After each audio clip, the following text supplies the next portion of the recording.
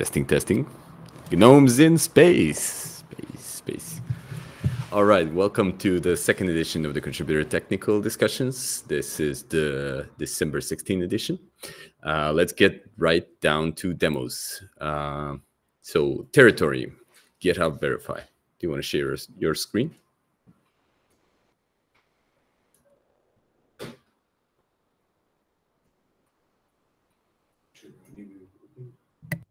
Uh, we are waiting uh, Miguel. Screen. I think Miguel is late, so maybe we can uh, go after all the guys. All right. In that case, uh, Onbloc with GnoSwap governance demo. All right. Um, can I share my screen? Yeah, sure. As you say, I'm here, but sorry, I didn't hear it. No problem. After Dong Dongwon and the Onbloc team, we'll circle back to you.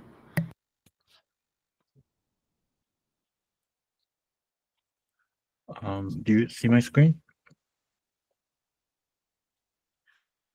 Yes. Yep. Um, this is uh, our um, DevNet and um, today uh, I'm going to um, demo our uh, GnoSwap governance feature. Um, yeah, um, this is the uh, this is the front page of uh, the GnoSwap governance, and uh, GnoSwap governance is run by uh, XGNS, uh, which is um, a non-transferable governance token with the uh, issuance ratio of uh, one to one with GNS.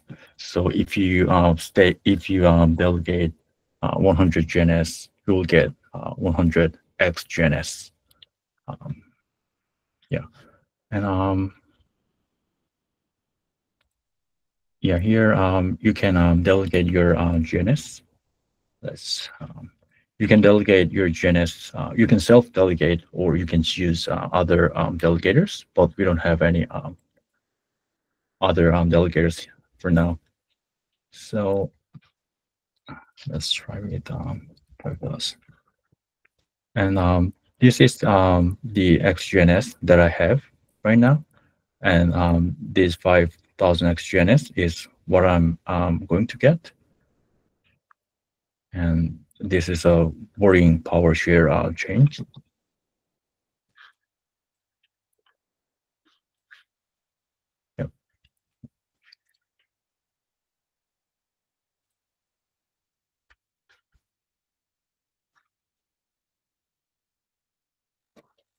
Yeah, so um, as you can see here, uh, 5,000 uh, GNS is um, newly has been newly uh, added, and now I have uh, 11,000 XGNS.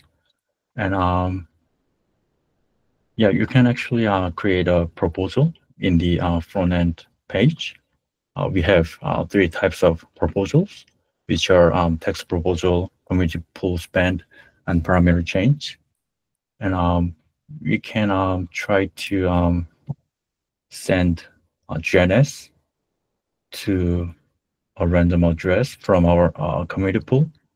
So um, yeah, we can try it with this address. Um, live test.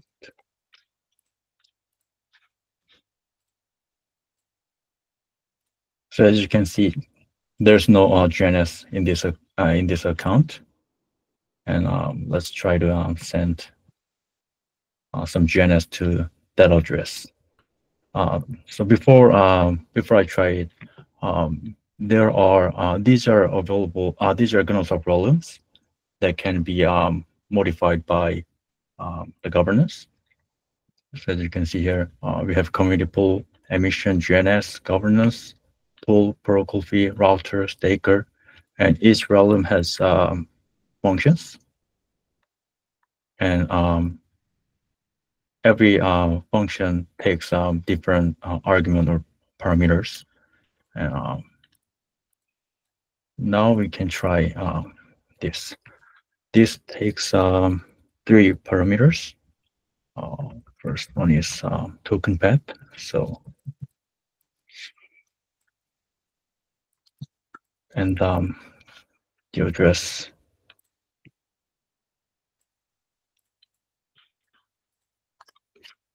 And we can send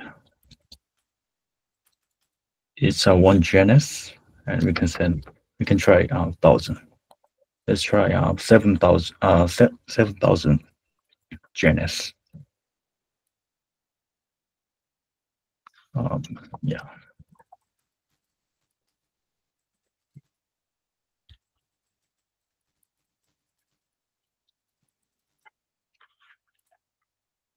Right.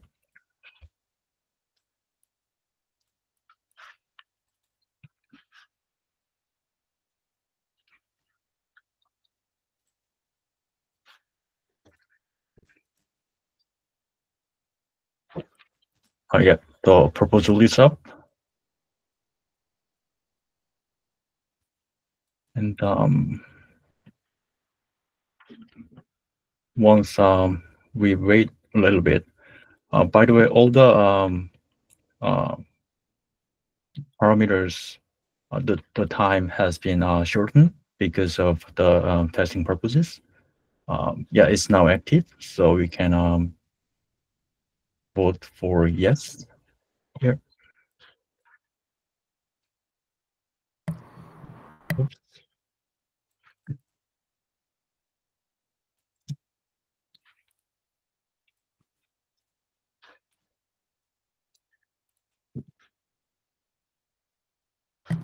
Well, maybe the voting ended. That's why it's not allowing you. Oh yeah, um, the time has already passed.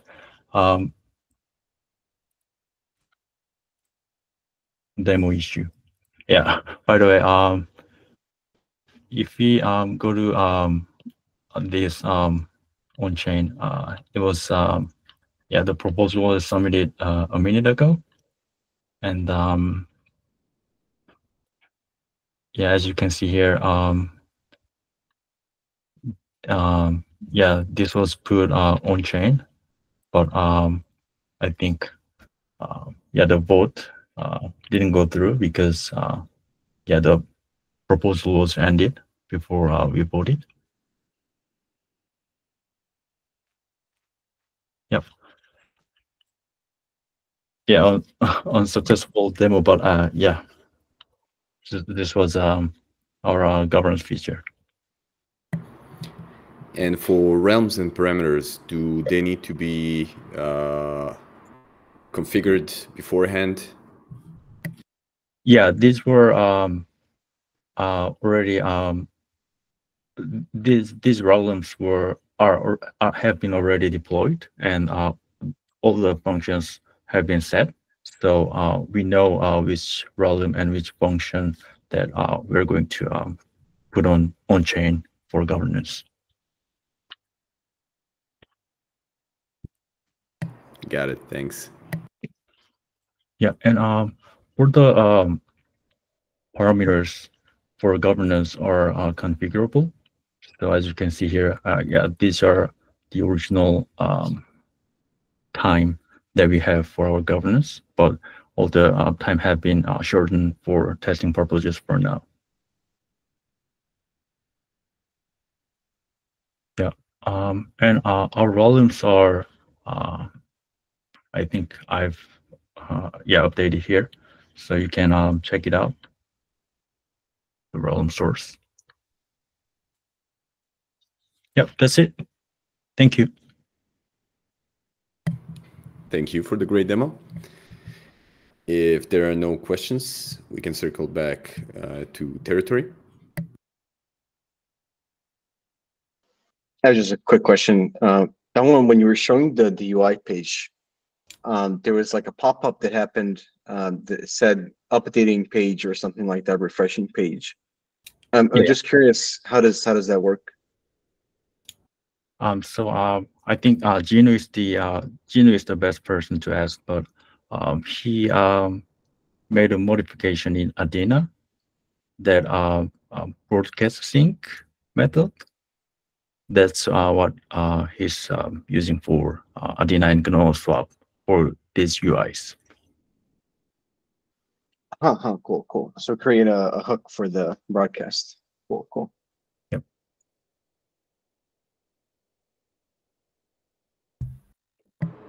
Okay, Miguel. Yeah. Oh, okay. Verify. Yes. Uh, so to give you some context, I imagine you all have the context, but anyway, uh, the idea is to build a ring that will verify that you are owner of a GitHub account. So we territories are working on this. Um, I mean, there is already a realm, a realm uh, contract that does that, but we just added like a new publish event um, because we need it for our indexer and our agent to work it. So I just going to do a quick demo on Gno, Gnodev. Um, after that, it's already running on test four, but on my own contract. So yeah, we will we will demo that. So first thing I just gonna I let me know if you you are able to see correctly. Yep. Okay, so I'm just going to launch Gnodev. Um, also, I'm going to launch my own local indexer. Um, so it will be something like this, uh, like on the documentation. So now I have my indexer running locally. Um, uh, with all that, I'm going to deploy my own contract of the uh, GH verify. I have all the commands here. So first thing I'm going to do is just deploy the contract. Uh, so I'm just going to do this quick. Uh, so right now I just deployed my contract. Um, now I'm going to request a verification. Um, the verification is over my GitHub handle that, that is Villaquiran M. Uh, so as soon as I request the verification, um, the next step I'm going to do is to um, give my agent, my agent is right here, uh, running locally also. I'm going to give the privileges to modify, or I'm just going to whitelist him in order to push values on my contract. So this is the first thing I'm going to do is just going to set my agent as, as a valid pusher. Um, right now, my Gnodev has all the events. Uh, for example, I just received the event of request verification right there. Um, so what I'm going to do right now is just to execute my agent locally. Um, I'm just going to, uh, before that, I'm going to show you that we don't have anything on Gnodev. Uh, I don't know if I have it here. Sorry, give me a moment. Uh, so if I go in here, I can go to GH verify. There is no user there. Um, so now I'm going to verify myself. Um,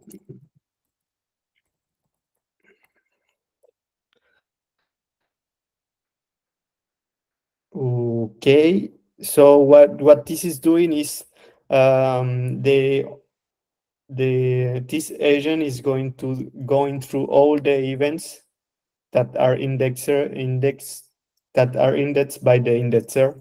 and then one by one, he's trying to reach for my GitHub account, M. If if I go into my account, it's right here. So um, you in in order to verify an account, uh, you must prove that you have ownership. So the idea to do that, um, the mechanism is to place your address right here. Right now, is this like a simple mechanism, but we can improve it in the in the future. So as soon as I um, the agent receives the verification, it goes to download on my repo uh, the the address and if it corresponds to the address I put on the event, I mean the, the verification I did uh, just before, um, it will contact the GH verified realm in order to tell tell him like uh, uh, yes this user is verified and um, right now you have I I get verified and there is my address.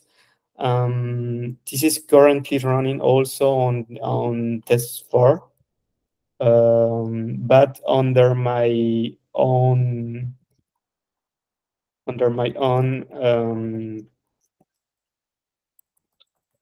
name namespace.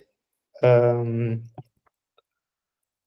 so if I go to test four, uh, there is, for example, Norman that is already here. Um, we deploy this agent on on our servers. Uh, we still have some working some work to do and some planning to do, but it's already operational. Um, so this is in order to launch the discussion if we need to improve some features about this, but uh, the idea is that we we wanted to start working on this. I don't know if you have some questions. It's all on my side.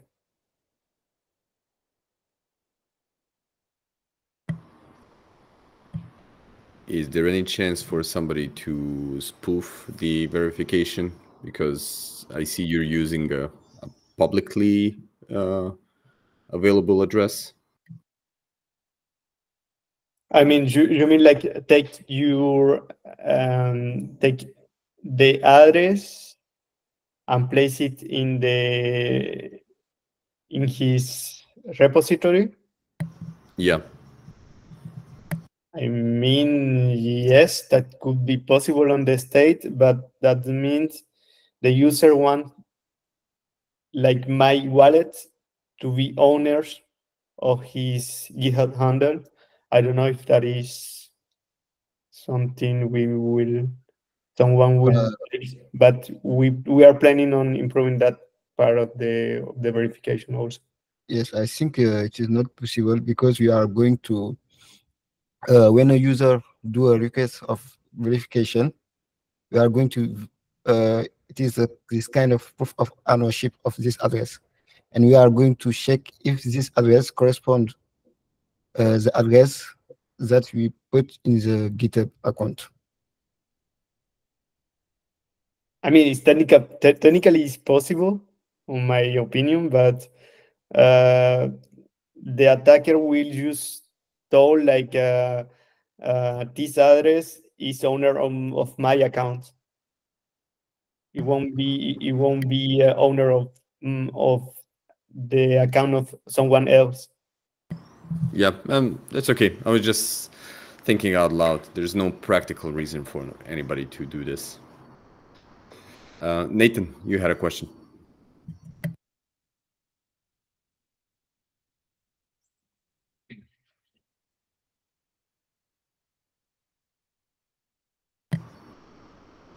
Nathan, are you there?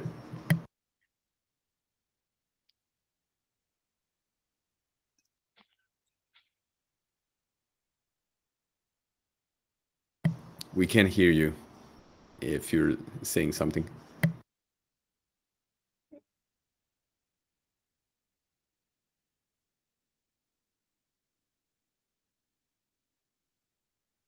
Uh, yeah, if you change your GitHub username, uh, we already start thinking of that. That is a great question.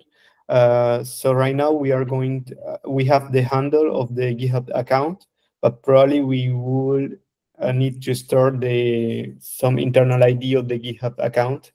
Like that, if you change your um, username, you still have like the the account, the right account that is linked to to your wallet.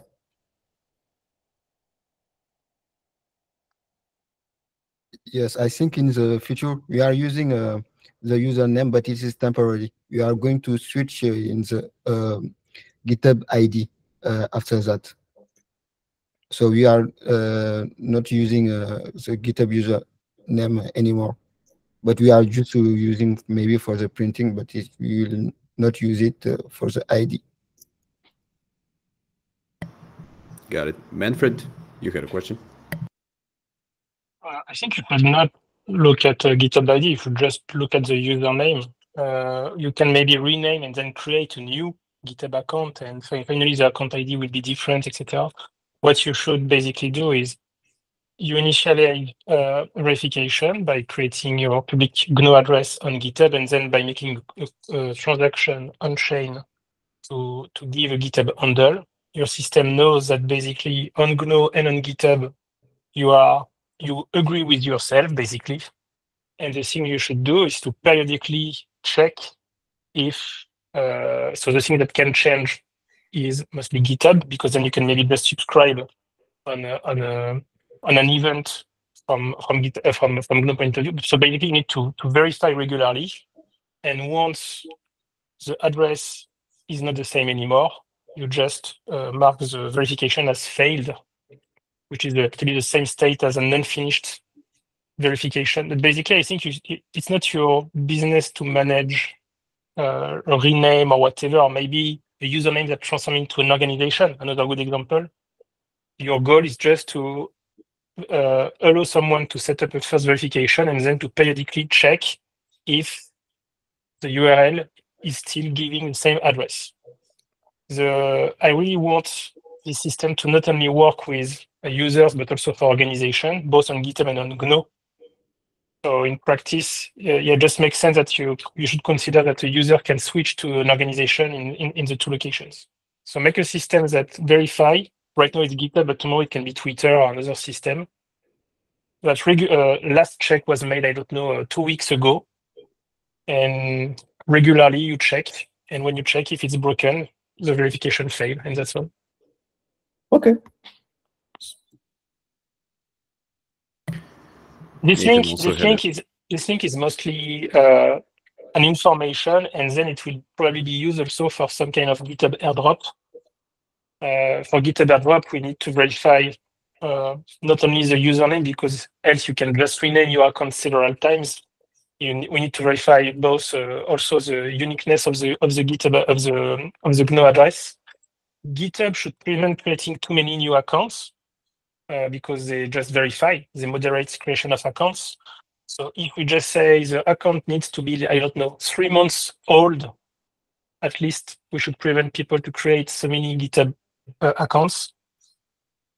So we need to find things like this. Maybe this is the place where the account ID could make sense to be stored uh, for, for the airdrop.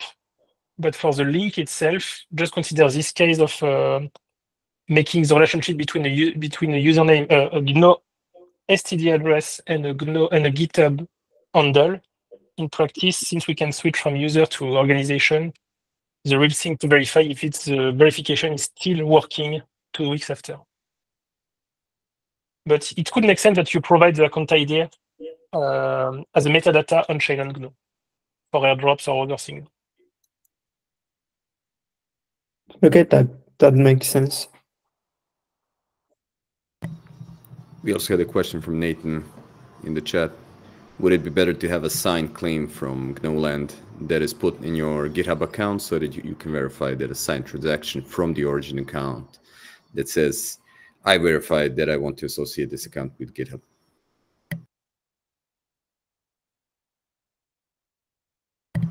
Just a thought. You don't have to answer right now. okay, because uh, I'm not sure I understand like uh, everything. Okay, that's uh, that's that's exactly what the the, the realm is doing. I think I verify that I want to associate his account. We're making a transaction. Transaction involves a signature. Uh, so right now we don't use cryptography and signatures on GitHub, but since you make a transaction using a private key on Gno, you have something similar. So the question is, do we want to have a signature also on GitHub? We want to have two, two signatures. It's something possible. I think it makes the process harder. We need to document, but we can maybe just uh, give uh, a single command you run on your on your on your terminal, and it, it could be okay. Yes, we think uh, about that. Yes, we need uh, some kind of front end uh, or some kind of something more easy to sign a file or sign uh, some text to do it. The thing I dislike with this approach is we can't do it for organizations.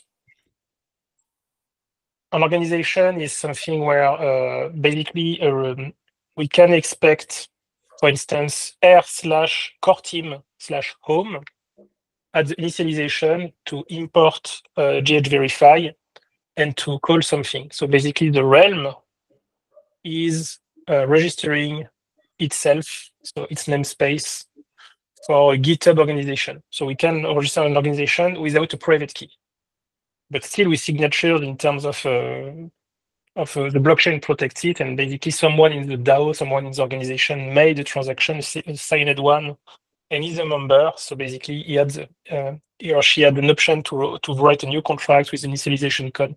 So just consider that an organization uh, making a verification won't have a private key.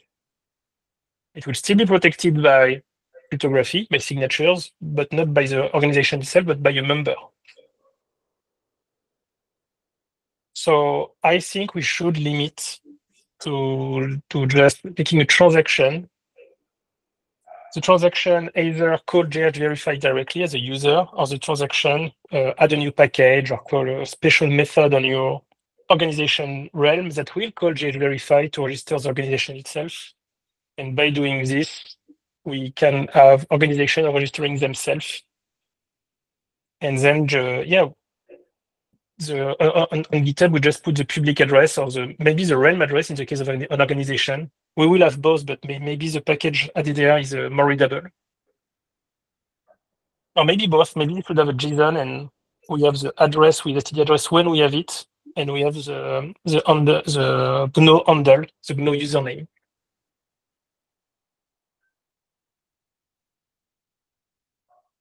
But yeah, think about organizations, please and okay. teams.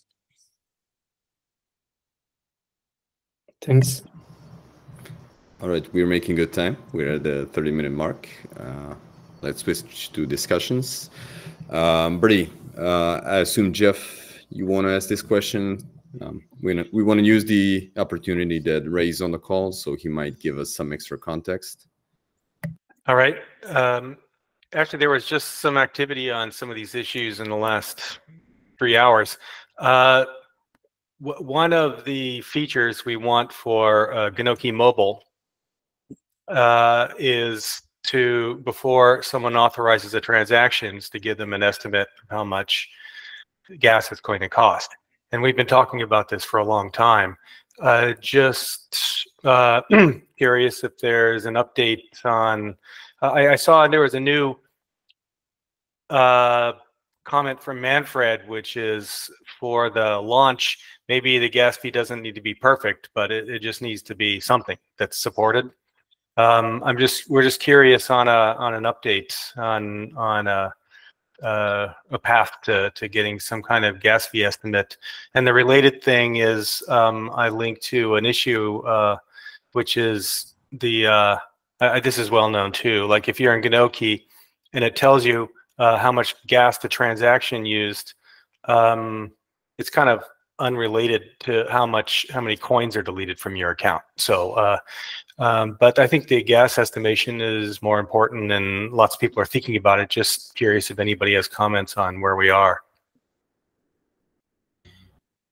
Um, so there's um, there's a wider uh, sort of um, thing about uh, calculating gas and gas fees, which is being tackled by Ray. And I think he opened up the microphone. I'll let him talk about that.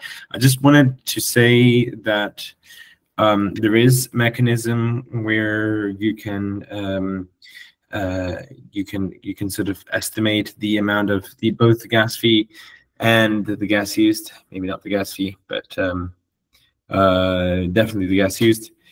Um, and uh, you can see it being used in uh, the gnokey CLI because right now when you do a transaction, um, the default behavior is that we test the we test the transaction first using simulation, and then we run um, we run the actual transaction um, by sending it to the chain. But so we do a first round while uh, like which just simulates the transaction, and if it fails, like say for for a bug, then the error is returned right away. Um, I think you can use that mechanism um, yourselves and you can use it to like pass in, uh, say, you know, 10 million gas, uh, gas wanted, and uh, then get back the amount of gas used and use that as a baseline for the actual transaction, maybe increase it by, I don't know, 10%. Um, so that's for what concerns the gas used. Uh, I think the gas fee will be, you know, a variable on the gas, like a multiplier on the gas used. Um, uh, if I recall from the when when I read the PR, but I'll let Ray comment on that.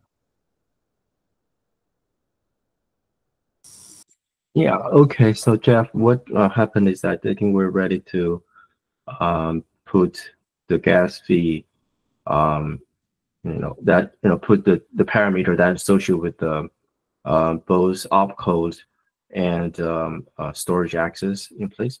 Uh, we just need um, um, some. Take a look at the. There's a, a PR for um, for um, what do you call it the uh, the benchmark. You know, we have a uh, the benchmark uh, numbers out there. Um, basically, we just want to do a you know, internally do some kind of review before we put those numbers in place. Um, I think those are ready ready to be put in place. Yeah. Okay. Um, when you have time, can you send me the PR number or us? Just to it in the chat. Um, Yep, that's fine. All right. Well, that's something to watch. Um, we'll do that. All right. And second topic, uh, Onbloc. Youngjun. Oh yeah, yeah. When when fetching the data by using the ABCI query, it seems that it seems that uh, although the current request query type includes the height, but the current implementation doesn't appear to this directly use this value to fetch uh, data when looking into the implementation of ABCI ABCI query, especially a query function. So my question is: Is it possible to change change change this function to use other fields such as height or uh, on other fields? And if so, whether a separate prefix needs to be added to get a data from DB? Thank you.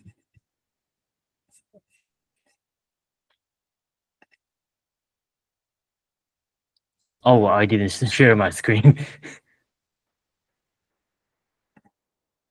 Mhm.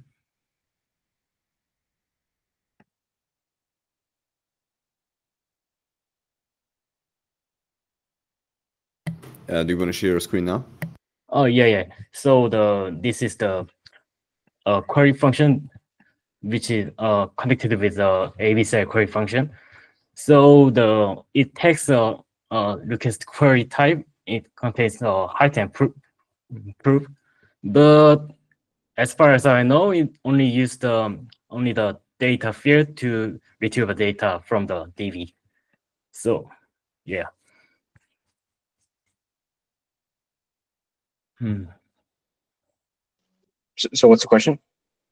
So the question is, so the question is, is possible to change the to use other fields, field uh, like a height or proof uh, rather than the data in here.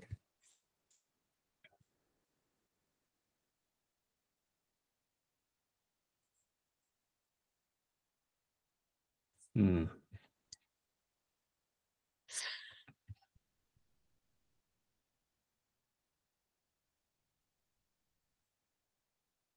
Let me check the the HackMD.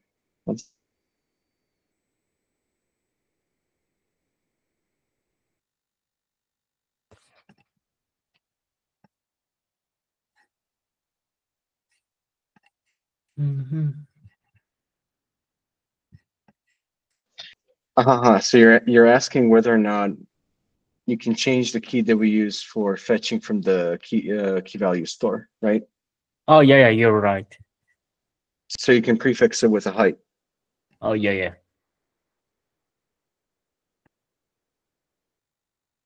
Uh, huh. I'm not sure if this is going to have any kind of side effect. I'd expect it to to have. Yeah, I also the concerning the side effects if I change this function. Because yeah, but by default, I think it's always going to fetch the latest, right? So you're because we're not pre prefixing anything. hmm I see. So yeah, um, I'd say I'd say probably just make a PR. This is definitely going to be a breaking change, but I think at this point it's it's completely fine because you know for most of our networks we're just going to reinitialize the the state again. Um, I think we have an ongoing issue for how we want to version version data. Um, it's by by Antonio somewhere. And I think one of the one of the suggestions that we have there is to version something by um, not just by version, but also by by the height. Um, I'll try to dig up the issues if we can. But yeah, um, the the short term answer is yeah, you, you can definitely just make a PR and we'll check it out. Uh, but just just label it probably as, as a breaking change. Oh yeah, good, good. I see. Thank you. Also, also just um, because you're changing the getters, also also check the the the setter functions for for the for the data. okay, I'll take it in my mind. Thank you for answering.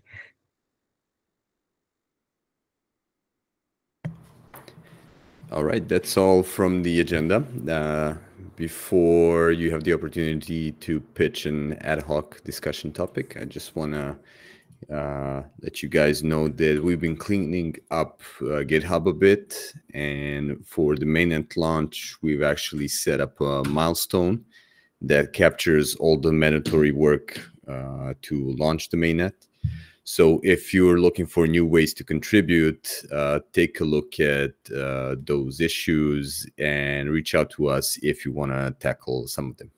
There's some easy issues, there's some hard issues there. So I think uh, you'll find uh, something for everyone.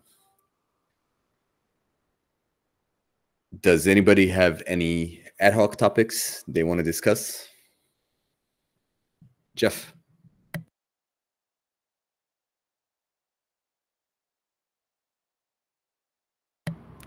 You're muted, Jeff. Uh, I always do that. Um, uh, in the chat, asking Ray if I found the right PR for what he was talking about with the uh, uh, to to follow about the benchmarking. Ray, is that the right one? Maybe he's offline. Uh, yeah, I just muted. Sorry. Yeah, yes, that's the right one. Two two four one. Beautiful. Thank you. That's it.